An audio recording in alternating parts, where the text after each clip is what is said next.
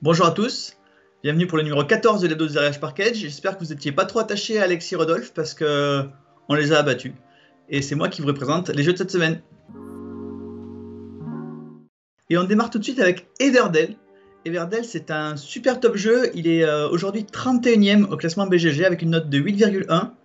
31e sur presque 20 000 jeux, c'est assez phénoménal. Il a été nominé pour le jeu de l'année et, les meilleures illustrations euh, au Golden League 2018.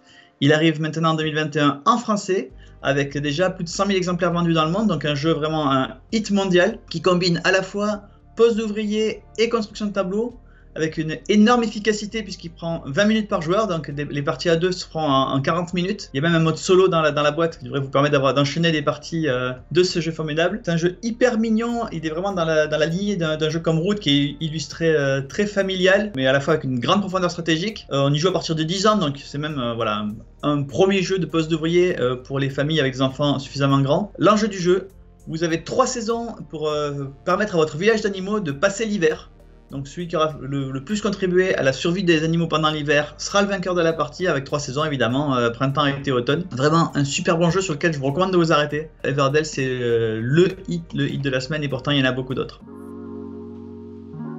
On continue avec les ruines perdues de Narak, un autre jeu hyper bien classé au classement BGG puisqu'il est 154e alors qu'il vient de sortir. Hein, je vous ai déjà expliqué le classement BGG, la, note moyenne a une grosse influence bien sûr, mais également le nombre de gens qui notent. Donc 154e euh, à la sortie avec une note moyenne de 8,2, vraiment c'est un super hit également. C'est un jeu de deck building, comme il à la fois des, notions de poste d'ouvrier, extrêmement riche, beaucoup beaucoup de choses à faire. Il y a une dimension exploration, c'est-à-dire qu'on va aller découvrir des ruines avec des gardiens à affronter, des pièges à, dénouer. Vraiment un jeu euh, assez immersif. On note d'ailleurs que le, jeu est avec un plateau double face, c'est-à-dire qu'il y a un premier mode plus facile, enfin ça reste quand même un jeu très très expert, hein, avec un premier temple à explorer, puis quand vous maîtrisez bien les règles de ce côté-là, ben, vous pouvez retourner le plateau, jouer sur le second temple, qui est légèrement plus complexe, un démarrage en fanfare. Il est déjà presque en rupture chez nous, il est déjà en rupture chez le fournisseur, il reviendra qu'au mois de mai, donc vraiment si vous voulez votre exemplaire, c'est maintenant qu'il faut le prendre, euh, c'est peut-être même déjà trop tard au moment où je vous parle, donc n'hésitez pas, les ruines perdues de Narak.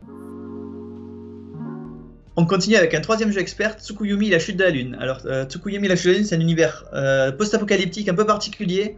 Euh, il y avait un dragon qui s'appelle Tsukuyumi qui était dans la lune, emprisonné, qui s'est libéré, qui a fait tomber la lune sur Terre. Il a résulté un chaos incroyable sur la Terre avec des, mutations, des choses un peu étranges qui se passent. Et bien sûr, ce dragon qu'il va falloir affronter lui et ses esprits euh, suiveurs, qui sont les Oni. Donc c'est un univers un peu japonais. Il y a énormément de figurines dans la boîte. La boîte est très bien remplie. Il n'y a aucune chance dans le jeu. Donc vraiment, c'est chacune de vos décisions qui va, qui va peser. Un jeu asymétrique avec euh, bah, quatre peuplades. Donc vous allez choisir entre les cyber samouraïs, les seigneurs sangliers, les nomades et les noirs. Vous voyez l'univers un peu fantastique, à la fois post-apocalyptique, à la fois japonais, à la fois fantastique, avec euh, bah, ces quatre tribus qui s'affrontent et avec une mécanique de majorité pour remporter les points. Pas mal d'extensions à venir. C'est Tsukuyumi, la chute de la lune. Alors, jeu suivant, c'est un jeu à licence. Moi, je suis un gros fan de Rick and Morty et je suppose que certains d'entre vous aussi. Eh bien, c'est les 100 jours de Rick and Morty. Rick and Morty, il y a pas mal de jeux qui sont sortis. Celui-là est un jeu vraiment de pose ouvrier, de stratégie. Le principe de chaque joueur représente un couple de Rick and Morty euh, qui vont devoir euh, fermer des dimensions les unes après les autres. Dans le jeu, il y a 81 cartes qui sont illustrées avec évidemment des extraits de la série. Voilà, l'idée c'est vraiment on pose des ouvriers, on collecte des ressources et puis on, on avance dans les dimensions qu'on va fermer petit à petit. On enchaîne avec Botanique. Botanique, c'est un jeu qui se joue à deux et seulement à deux, vraiment un jeu d'affrontement à deux. Alors d'affrontement très indirect parce qu'en fait il va falloir surtout poser des tuiles pour bloquer euh, la collecte de tuiles par l'autre et euh, récupérer des tuiles pour soi qui vont bien aller. Un jeu hyper simple, il y a une action par tour, euh, on, pose, on pose, on prend des tuiles. L'idée est vraiment de créer un réseau qui va permettre d'alimenter ces fleurs de couleurs, voilà, un réseau avec des, couleurs, un, univers assez féerique, assez, assez particulier, dessiné par Franck Dion qui est un illustrateur assez connu. Donc euh, voilà, Botanique, c'est vraiment un jeu très particulier qui se joue en 15-20 minutes. Voilà, donc vraiment un univers, un univers féerique, un jeu assez court, 15-20 minutes, qui se joue euh, à deux. C'est Botanique.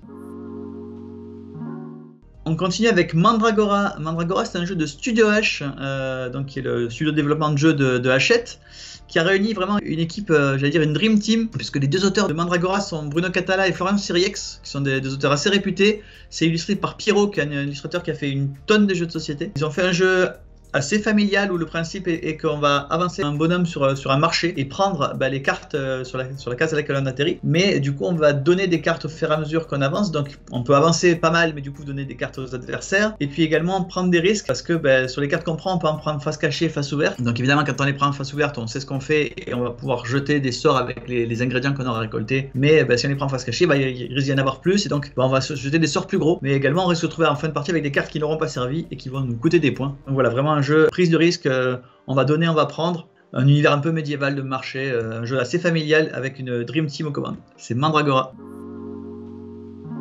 Jeu suivant, le jeu suivant s'appelle Bellum Magica, c'est un jeu de Frédéric Guérard qui s'est euh, surtout fait connaître pour It's Wonderful World récemment, mais aussi Ilos, Meeple Land, enfin pas mal de jeux. Là, il vous propose d'incarner un seigneur maléfique.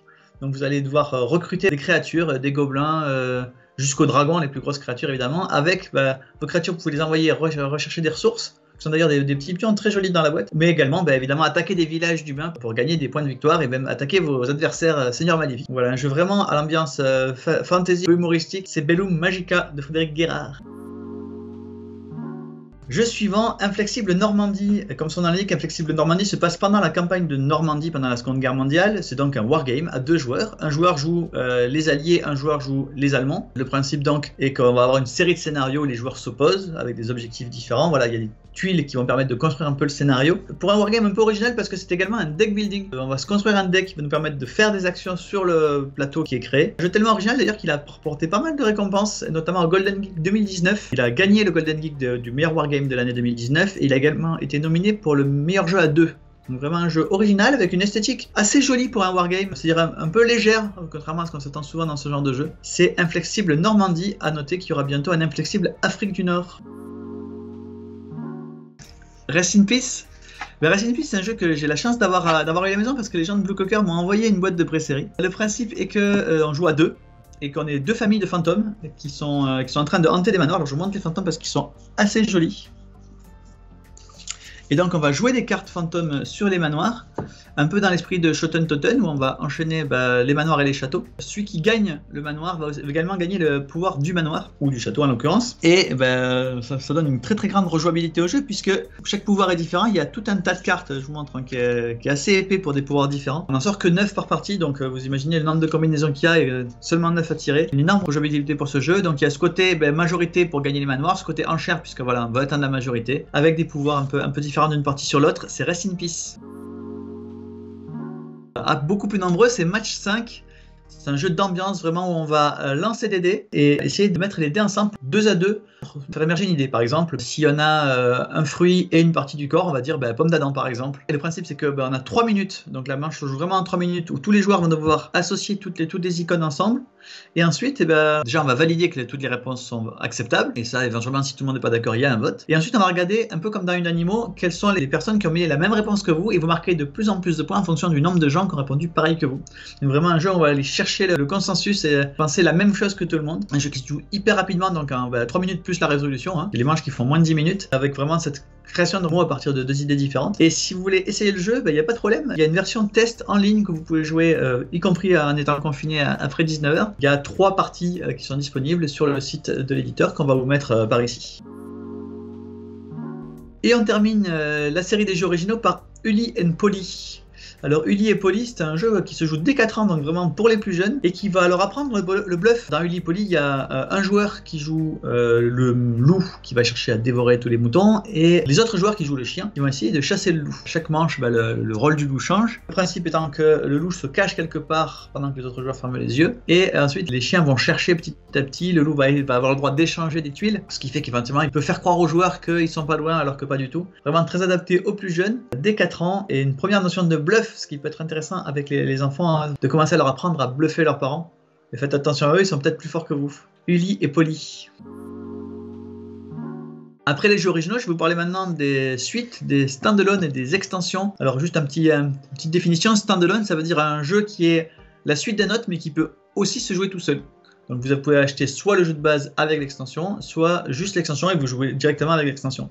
Un exemple de, standalone, c'est Foufoufou Plaisir d'offrir. Par exemple, ben, il y avait Foufoufou qui existait, qui est un jeu d'ambiance, où le principe est qu'on a chaque tour un nouveau gage qui vient s'ajouter au gage qu'on a déjà, et dès qu'un joueur ne respecte pas son gage, eh ben, il perd un coup. Et du coup, bah, évidemment, il va, il va pas éliminer ses cartes. Et plus on élimine ses cartes, et au plus on gagne vite à ce jeu. Alors, c'est clairement pas l'objectif de savoir euh, qui est le plus fort à faire des gages. hein. L'objectif, c'est plutôt de s'amuser à faire, à faire des bêtises. Par exemple, eh ben, quand on va avoir un gage qui est. euh, si je recouvre une carte, je, la regarde et je lui dis bonne petite carte. Ou euh, bah, à la fin du tour du joueur d'après, je vais devoir dire j'ai faim. Petit truc de est-ce qu'il le fait parce qu'il a le gage ou est-ce qu'il le fait parce qu'il a vraiment envie de reprendre des chips? La nouveauté de Fou Fou Plaisir d'offrir, c'est évidemment bah, plein de nouveaux gages, mais également l'apparition d'une mécanique de coups fourrés qui sont des cartes roses. Bah, c'est le plaisir d'offrir, hein. c'est-à-dire qu'au lieu de garder le gage pour soi de façon égoïste, eh ben, je vais donner le gage à un de mes adversaires juste parce que j'ai envie de l'embêter, parce que c'est un jeu où il faut être effectivement un peu méchant. C'est Fou Fou Fou Plaisir d'offrir, et comme d'habitude, on vous fait un PK Game Cup pack avec le Fou Fou Fou de base, plus le plaisir d'offrir, et un prix sympathique. On continue avec un autre euh, standalone suite un peu, un peu particulier, c'est Sticky Cthulhu. Sticky Cthulhu, c'est une rethématisation de Sticky Caméléon. Ou alors Sticky Caméléon, chacun avait une langue de caméléon et il s'en servait pour rattraper des insectes posés sur la table. Et bien là, eh ben, c'est évidemment un tentacule de Cthulhu qui va ser- servir à rattraper des monstres, donc vraiment un jeu euh, d'ambiance où on va jouer en famille euh, à, à attraper les différents points qui sont désignés par un dé. Sticky Cthulhu, le nouveau Sticky Caméléon. Autre nouveauté dans la gamme des Escape Puzzle Kids, je vous en ai parlé il n'y a pas très longtemps. Je demandais d'ailleurs à Alan de vous mettre un petit lien vers la vidéo euh, des, Escape Puzzle. Un nouvel exemplaire, une nuit au musée, qui est donc à la fois un puzzle, qu'on commence et qu'on fait, et qu'une fois qu'il est fini, il y a un escape game tourné vers les enfants qui se passe bien évidemment dans un musée. Autre suite, Ligili. Alors Ligili, c'est une BD dont vous êtes le héros, c'est-à-dire une BD un peu interactive, vous allez aller sauter de- d'une case à l'autre, pas forcément dans le sens de lecture naturelle. C'est la suite de Dragon et Chaton, qui avait fait un assez gros succès. Coup-ci, vous jouez le rôle d'un espèce de, de facteur, c'est toujours illustré par Gorobei, et ça s'appelle Ligili. Toujours dans les suites, Tam Tam coffret 1, 2, 3. Donc Tam Tam, c'est une gamme de jeux euh, éducatifs donc qui servent à apprendre tout un tas de choses aux enfants. Euh, Celui-là, 1, 2, 3, évidemment, pour les plus jeunes, à partir de 4 ans à peu près. Dans le coffret, il y a 3 jeux qui permettent d'apprendre les chiffres de 0 à 20. Donc vous comprenez bien que c'est pour les plus jeunes. Tam Tam coffret 1, 2, 3 dans la gamme Tam Tam. Et on termine par les nouvelles extensions de Marvel Champion. Marvel Champion, c'est deck building coopératif où donc vous, euh, vous jouez les héros Marvel qui vont affronter bah, tous les vilains. Avec tout ce côté, bah, je construis mon deck de héros qui, va affronter euh, différents vilains en fonction des héros que j'ai pris d'ailleurs, éventuellement. Trois nouvelles boîtes, euh, trois nouveaux héros. D'abord The Wasp, qui a cette particularité d'être un héros qui, qui peut se transformer soit de façon minuscule pour taper pile au point qui fait mal, soit d'être géante. Mais également Quicksilver, qui est évi- évidemment quelqu'un de très très rapide et qui donc va pouvoir faire plusieurs assauts dans une même phase. Et enfin Scarlet Witch, qui peut manipuler le deck de rencontre. Alors c'est très positif parce que ça peut éviter d'avoir des, rencontres trop désagréables, mais d'un autre côté ça va épuiser petit à petit le deck de rencontre et ça va accélérer l'arrivée de la fin du deck et donc du jeton accélération. Voilà les trois nouvelles extensions de Marvel Champions. Avant de vous dire au revoir, je vais quand même vous parler d'une petite chose et euh, je vais faire une exception puisque je vais vous parler d'un jeu qu'on n'a pas en stock. Tout vous dire, ça s'appelle Air Games. Ça a été lancé comme un poisson d'avril par Chèvre Édition. Le principe d'Air Games, c'est un jeu qui se joue de 1 à 11 milliards, de 1 seconde à 3 millions d'années et à partir de 0 ans. Le matériel est très simple puisqu'il n'y en a pas. Il y a des règles qui ont été faites par euh, des centaines d'auteurs. Au départ, il y en avait 4-5 et puis tout le monde a vraiment marché là-dedans. C'est accessible à partir de 1 euro et c'est envoyé en 48 heures par euh, un système qui permet d'envoyer aucun matériel. Et l'avantage que ça a, c'est que bah, tous les bénéfices qui sont réunis par Chèvre Édition pour ce Air Game, ils sont versés à une association que j'aime beaucoup qui s'appelle Accessi Jeux, qui est une association qui est une ludothèque dans le 12e, qui est aussi spécialisée dans la conversion de jeux pour les, les, les mâles ou non-voyants. Et donc je vous invite à aller voir Air Game, là aussi je vais demander à Alain de vous mettre le lien quelque part par ici. Une très chouette idée pour le 1er avril de Édition. Air Games, et moi je vous dis euh, à la semaine prochaine, si tout va bien. Salut tout le monde